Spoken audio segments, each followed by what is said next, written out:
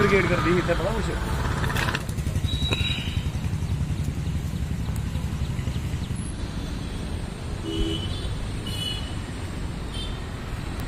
आज उस शख्सियत का जन्मदिन है। मुझे लगता है कि अगर जम्मू कश्मीर भारत का आज एक हिस्सा है तो कहीं ना कहीं उसमें एक योगदान हमारे ब्रिगेडियर जिंदर सिंह जी का भी है।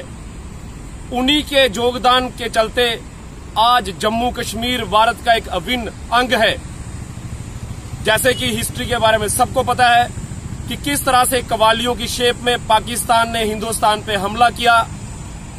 उस समय हिंदुस्तान नहीं कह के हम इसे जम्मू कश्मीर रियासत कह सकते हैं।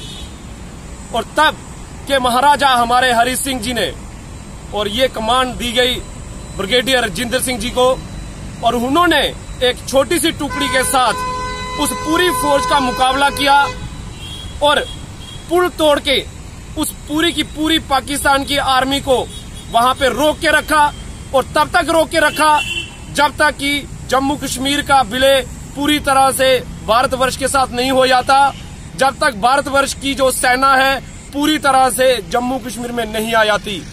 तो मुझे लगता है वह जो एक रजिंदर सिंह जम्वाल सॉरी रजिंदर सिंह जी ने वो जो अपने जान की आहुति दी थी इस जम्मू कश्मीर को बचाने के लिए, और ये जो दिन आज हम लोग यहाँ पे मना रहे हैं, ये हम सबको मनाते रहना चाहिए, ताकि हमारे आने वाली पीढ़ियों को याद रहे कि रजिंदर सिंह जी ने जम्मू कश्मीर को बचा के रखा था और अपने प्राणों की आहुति दी, जिसके चलते आज़ाद भारत का पहला महावीर चक्कर से उनको सम्मानित किया गया।